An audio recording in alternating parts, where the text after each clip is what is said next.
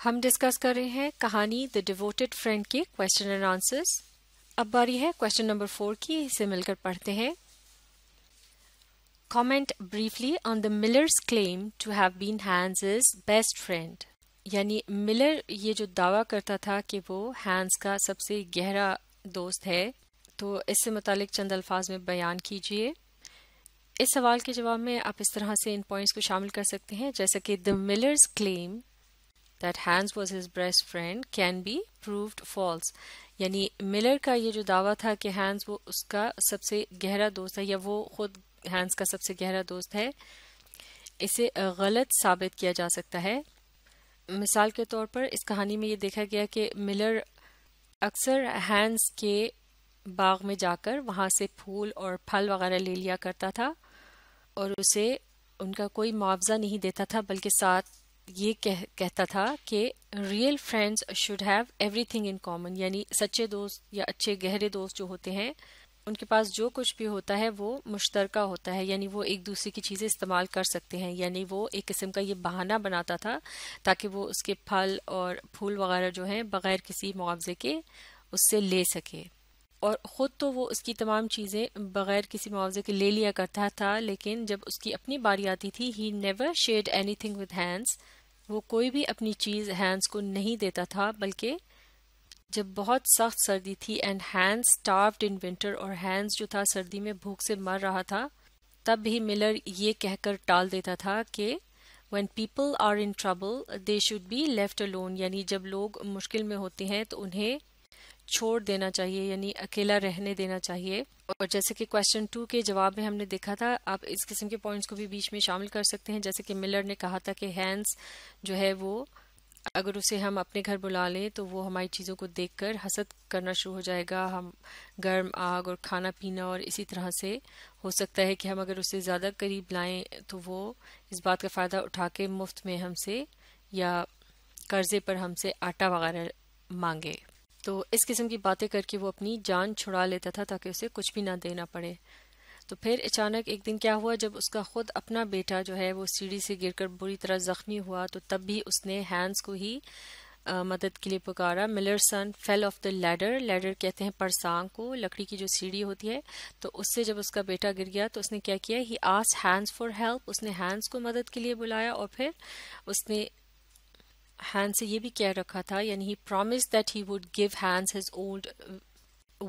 wheelbarrow یعنی اس نے یہ وعدہ کر رکھا تھا ہینڈ سے کہ وہ اسے اپنی وہ پرانی سی سامان ادھر ادھر لے جانے والی ٹرالی سی دے گا۔ اور اس قسم کے جھوٹے وعدے کرتے وقت وہ اس طرح کے دعوے بھی کرتا تھا، جیسے کہ وہ کہا کرتا تھا کہ generosity is the essence of friendship یعنی سخاوت، سخاف، معاف کیجیے گا، سخاوت یا دریا دلی جو ہے وہ سچی دوستی کا ارک ہے یا اس کی جان ہے۔ لیکن دراصل he never carried out his promise اپنے اس وعدے کو وہ کبھی بھی پورا نہیں کرتا تھا۔ تو لہٰذا ملر کا یہ جو دعویٰ تھا کہ وہ ہینڈ کا سب سے گہرا دوست ہے، جیسا کہ اس کے مر جانے کے بعد بھی اس کے جنازے کے موقع پر اس نے یہ کوشش کی کہ اسے سب سے آگے جگہ ملے اور تب بھی اس نے یہی دعویٰ کیا کہ چونکہ وہ ہینڈس کا سب سے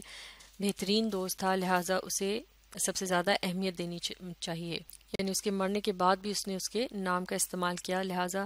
ملر کا یہ جو دعویٰ ہے، یہ بالکل جھوٹا ثابت ہو جاتا ہے ان کی، اس کی، ان سب باتوں کی وجہ سے کہ جس طرح سے اس نے ہینڈس کا بھرپور فائدہ اٹھایا، لیکن بدلے میں کبھی بھی اسے کچھ بھی نہ دیا اور اسے صرف جھوٹے وعدے کیے۔ اور اس کے علاوہ ان پوائنٹس کو بھی شامل کیا جا سکتا ہے کہ ملر جو تھا he expected a great deal of generosity from poor Hans یعنی ملر جو تھا، وہ بیچارے ہینڈ سے بہت زیادہ سخاوت اور دریا دلی کی امید رکھتا تھا۔ لیکن in return gave him nothing بدلے میں اس نے کبھی بھی اسے کچھ نہ دیا۔ جیسے کہ مزید اس مثال کو شامل کیا جا سکتا ہے۔ ملر فرسٹ ٹو کا big plank of wood from Hans پہلے اس نے ہینڈس کے گھر سے لکڑی کا ایک ٹکڑا اٹھا لیا۔ جسے وہ اپنے گھر کی مرمت میں استعمال کرنا چاہتا تھا اور اس کا بھی اس نے اسے کوئی معاوضہ وغیرہ نہیں دیا اور اس کے بعد اس نے اس کے باغ سے پھول اور پھل وغیرہ بھی لیے اور اس سارے مال کو بھی اس نے مال مفت سمجھ کر استعمال کیا۔ پھر اس نے کیا کیا؟ دین ہی سینٹ ہم آن لانگ ایرنڈس اسے دور دراز کے کاموں پر وہ بھیجا کرتا تھا۔ مثال کے طور پر اسے وہ مارکیٹ میں آٹا بیچنے کے لیے بھیجتا تھا جو کہ بہت ہی دور تھی اور پھر اس کے علاوہ he got him to work at his mill وہ اسے اپنی آٹے کی پنچکی پر کام پر بھی لگا دیتا تھا اور یہ سارا کام بھی وہ اس سے مفت میں کرایا کرتا تھا اور finally he sent him to bring the doctor for his son بلاخر اس نے اپنے بیٹے کے زخمی ہو جانے پر ہینڈس کو ڈاکٹر کو گھر لانے کے لیے بلایا یعنی اسے بھیجا کہ وہ جا کر ڈاکٹر کو لے آئے اور اس موقع پر اس کی جو خود غرضی تھی وہ اپنی انتہا کو پہنچ گئی کہ جبکہ اندھیری اور طوفانی رات میں اس نے ہینڈس کو بغیر کسی روشنی کی یعنی لینٹرن وغیرہ کے بھیج دیا، جبکہ اس کے پاس ایک نیا لینٹرن موجود تھا اور وہ اسے خراب ہونے سے بچانے کے لیے یعنی اسے نہیں دینا چاہتا تھا۔ اور چونکہ بیچارے ہینڈس کے پاس راستہ تلاش کرنے کا کوئی بندوبست نہیں تھا، لہٰذا واپسی پر اس سے راستہ جو تھا وہ گم ہو گیا اور وہ ایک بنجر اور پتھریلی جگہ پر بھٹکتے بھٹکتے ایک پانی کے تالاب میں گر کر ڈوب گیا اور مر گیا۔ اس کے بعد بھی دیکھا گیا کہ at Hands funeral the miller demanded the best place. جیسے کہ اس سے پہلے بھی ہم ڈسکس کر چکے ہیں کہ ہینڈس کے جنازے کے موقع پر ملر جو تھا اس نے مطالبہ کیا کہ اسے سب سے بہترین جگہ پر بٹھایا جائے کیونکہ وہ ہینڈس کا سب سے گہرا دوست تھا۔ جو کہ محض ایک خالی اور جھوٹا دعویٰ تھا۔ تو ان تمام دلائل کی مدد سے پتہ چلتا ہے کہ ملر جو تھا وہ صرف یک طرفہ دوستی پر یقین رکھتا تھا، جس میں وہ صرف خود اپنے دوست سے فائدہ اٹھانا چاہتا تھا اور بدلے میں اسے کچھ بھی نہیں دیتا تھا۔ تو ان تمام باتوں سے یہ بات صاف، ثابت ہو جاتی ہے کہ ملر دراصل ہینس کا بہترین دوست نہیں تھا، بلکہ صرف ہینس ملر کا دوست تھا۔ اور ہینس کی سادگی اور معصومیت کی وجہ سے ملر جو تھا وہ اس کا فائدہ اٹھاتا رہا اور بالآخر وہ بیچارہ اپنی جان سے ہی چلا گیا۔